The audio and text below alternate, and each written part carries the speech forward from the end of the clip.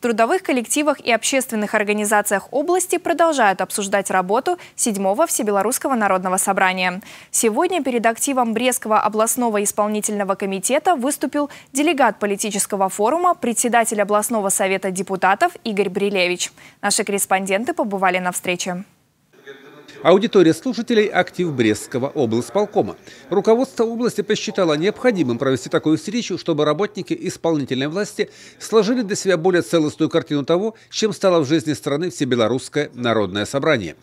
Непосредственно от его делегата Игоря Брилевича участники встречи узнали подробнее о резолюциях и решениях о концепции национальной безопасности и военной доктрине Беларуси опять же, о тех документах, которые уже принимаются в развитии этих э, направлений.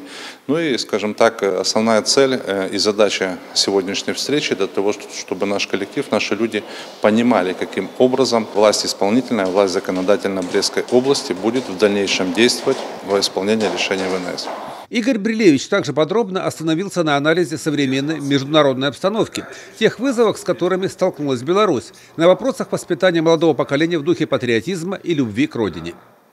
Те посылы, которые мы сегодня услышим, мы обязательно тоже донесем до молодежи. Нам хотелось бы все-таки услышать и мнение, мнение делегатов ФНС, э, потому что именно они, э, их задача, то есть вот э, доносить до людей те или иные посылы Всебелорусского народного собрания. Также Игорь Брилевич ответил на вопросы участников встречи.